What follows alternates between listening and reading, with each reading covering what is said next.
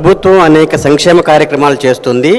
ప్రధానంగా శ్రీకాకుళంకు సంబంధించి ఉద్దానంకు సంబంధించి కిడ్నీ సమస్యని పవన్ కళ్యాణ్ గారే వెలికి తీశారు దానికి మా ప్రభుత్వం ఏ విధంగా చర్యలు చేపట్టిందనేది పవన్ కళ్యాణ్ గారు కూడా చూశారు. ఖచ్చితంగా ఆ అంశం మీద అభినందించి తన ఒపీనియన్ చెప్పాలి.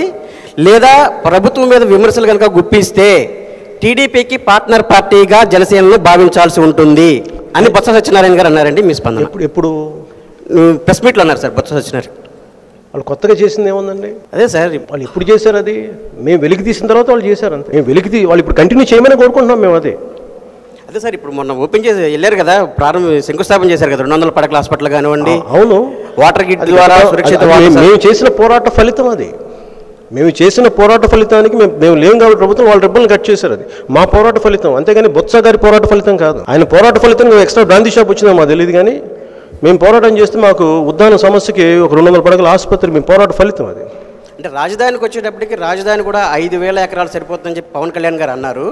అసలు రాజధాని అనేది ఒక వర్గానికి సంబంధించినటువంటిది కాదు. శ్రీకృష్ణన్ కమిటీ కూడా అమరావతి రాజధాని అని చెప్పి సూచించారు రాజధాని సైజుల గురించి నేను ఎప్పుడు మాట్లాడాల. నేను మాట్లాడింది ఏంటంటే అడ్మినిస్ట్రేటివ్ క్యాపిటల్ ఉండాలి ఇక్కడ. కన్వీనియంట్గా ఉంటుంది అందరికీ. అది మీరు మూడు వేల ఎకరాలు చేసుకుంటారో లేదా ముప్పై వేల ఎకరాలు చేసుకుంటారో ఆ ప్రభుత్వం తీసుకునే విధి విధానాలను బట్టి ఉంటుంది. కానీ మేము కూర్చొని ఎందుకంటే మా దగ్గరికి వచ్చి మా పొలాలు ఇవ్వడం ఇష్టం లేదనుకున్నప్పుడు మేము పోరాటం చేయగలం. కానీ పొలాలు ఇచ్చినప్పుడు నేను ఎవరిని కాదంటానికి దానికి?